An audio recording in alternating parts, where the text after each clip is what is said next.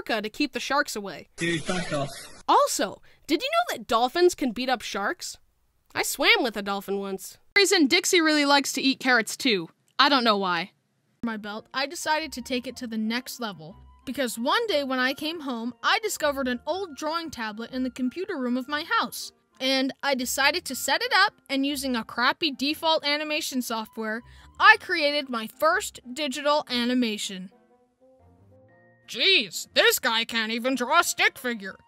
Hey, you. Hmm. You know, you've got a point. That milk and those babies are gonna be crazy. Bro, my milk tastes like color. There's no way you're 19.